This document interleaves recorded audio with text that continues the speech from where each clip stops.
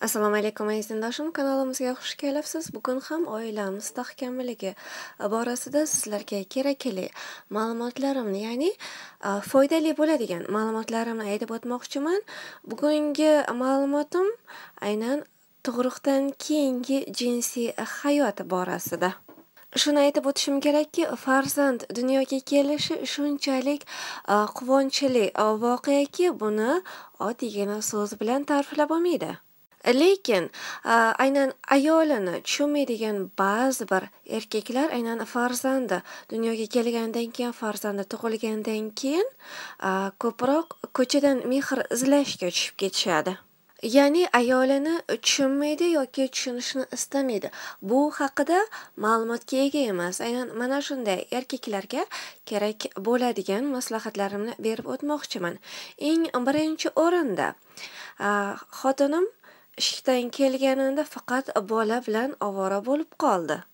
Bu gapni aytishdan oldin bir e'tibor qaratishingiz kerak. To'g'ri, siz ayol emassiz, ona bo'la olmaysiz hech qachon. Aynan ayolingizni hech qachon tushuna olmaysiz. Lekin agar tushunishni xohlasangiz, albatta tushunasiz. Hech hayvonlarga e'tibor qaratganmisiz? E'tibor berib qarang. Biz insonmiz, to'g'ri, lekin oddiygina hayvonlarga e'tibor qaratganingizda u aynan farzandini dunyoga keltirganida oldiga hech kimni yaqinlashtirmaydi. Ayollarda ham xuddi shunday. Agar farzandini dunyoga keltirganida uni ko'ziga faqat farzandi ko'rinadi. Hozir farzandimni shunchaki tashlab ketadigan bo'lsam, unga nimadir bo'lib qolsa nima qilaman? Yoki farzandimni shunchaki qo'yib qo'yib, ishlarga ulgurib, erimni kutib olay degan fikr xayoliga kelmaydi. Xuddiki hozir farzandiga nimadir bo'layotganday, nimadir bo'ladiganday tuyulaveradi. Siz ayolingizni shunday tushunishingiz kerakki, aynan sizni davomchingizni, sizni farzandingizni shunchalik asrab-avaylayapti. Unga nimadir bo'lishidan, sizni avlodingiz davom etmay qolishidan qo'rqayapti. Iloji boricha sizni farzandingizni sog' salomat ulg'aytirish uchun doim kurashyapti. Ana endi keyingi muammo aynan jinsiy hayotni qachondan boshlash kerak? Ya'ni ayoli tug'ruqxonadan kelganidanmi yoki bo'lmasa aynan momolarimiz aytganidek 40 kun teginmaslik kerakmi? Judayam ko'pchilik mana shu 40 kunni shunchaki irim deb bilarkan.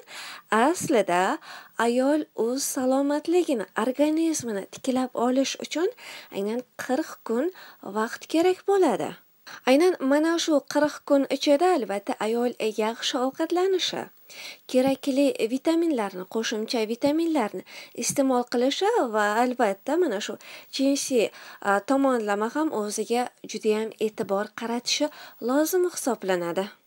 Aynan mana shu 40 kun ichida agar ayol og'ir ish qilmasdan jinsiy hayotdan ham birozgina uzoqlashib turgan taqdirda albatta o'z organizmini tiklab oladi. Jinsiy organlarini ham iloji boricha tiklab olishga harakat qiladi.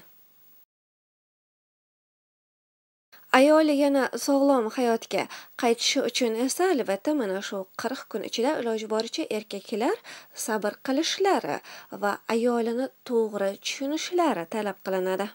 Ayniqsa ba'zan ayollarda mana shu tug'ruq jarayonida razrivlar paydo bo'ladi. Mana shu razrivlar bitib ketishi uchun ham, mana shu tikilgan joy ochilib ketmasligi uchun ham albatta siz erkaklar judayam to'g'ri anglab yetishingiz kerak. Keyingi o'rinda ayolingiz judayam asabiy bo'lib boryapti kundan kunga, stress holatlariga tushib qolyapti, hech qanday gap yoqmayapti.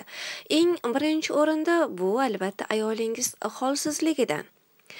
Bu shunchaki tug'ib o'zgarib qoldi emas. Ayolingizga vitamin yetishmayapti. Nima uchun? Chunki ayolingiz bor ovqatini albatta organizmi bor ovqatidan sut ishlab chiqaryapti. Bu borini farzandingizga beryapti. O'zini organizmida hech qanday vitamin qolmayapti. Natijada ayolingiz judayam holsiz, holdan toygan, aynan sizni gaplaringiz ham yoqmayapti.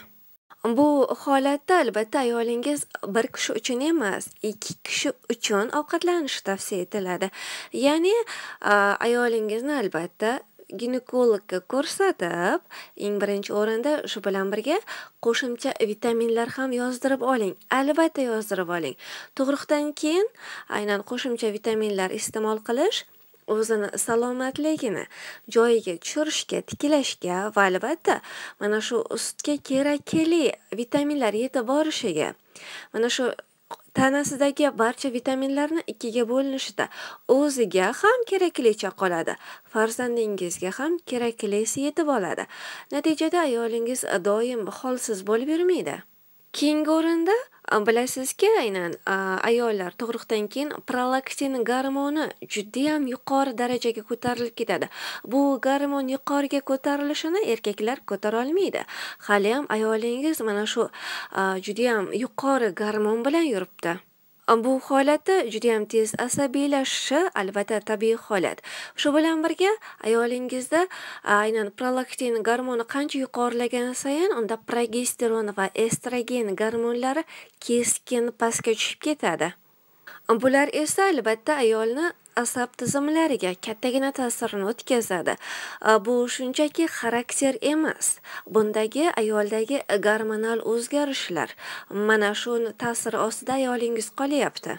Mana shu holatlarga ham siz erkaklar judayam katta ahamiyat berishingiz kerak.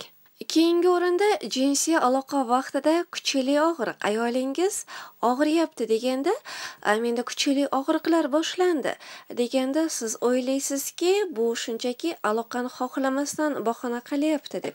Yo'q, aslida ayolingizda progesteron gormoni ancha keskin tushib ketgan. Natijada qin judayam quruqlashib qoladi. Aynan mana shu quruqlik natijasida ayolda birozgina og'riqlar paydo bo'ladi. Bu tabiiy holat, siz tushunishingiz tavsiya etiladi. Keyingi o'rinda albatta ayollar tug'ruqxonadan chiqishi oldidan albatta ginekolog bilan maslahatlashgan holatda albatta kerakli svechalarni yozdirib olishlar tavsiya etiladi. Ya'ni mana shu estrogen gormon tushib ketishi natijasida ayolda quruqlik paydo bo'lgandan keyin e, har xil zud paydo bo'lishi mumkin yoki bo'lmasam yallig'lanishlar paydo bo'lishi mumkin.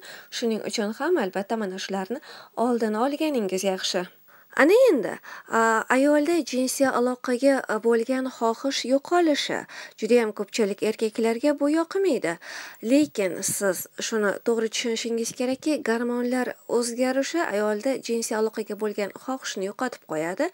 Keyingi o'rinda albatta ayolingiz farzandingizni tilini topguncha birozgina ehtiyotkor bo'ladi.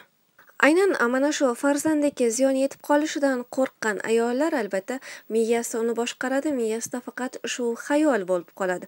Boshqa narsa umuman eri birozgina yodidan chiqadi, lekin bu vaqtinchalik. Keyingi o'rinda ayolda surunkali charchoq bo'ladi. Bilasiz, chaqaloq umuman uxlamasligi mumkin. Ertalab ham, umuman kechasi ham uxlamasligi mumkin. Bu holatlarda ayol ham ruhan charchaydi, ham jismonan charchaydi. Bu holatda albatta jinsiy e, hayotga birozgina sovuqqon bo'lib qoladi. Agar mana shu holatda siz ayolingizni to'g'ri tushungan holatda unga ham jismonan, ham ma'nan ko'mak beradigan bo'lsangiz, ayolingiz o'zini tezda tiklab oladi. Lekin ba'zan erkaklar xatolikka yo'l qo'yib qo'yishadi. Men uydan mehr topmayapman deydida, darrov ko'chadan mehr izlashga tushadi. Aslida ayolingiz ham mehr izlayapti, e'tibor izlayapti.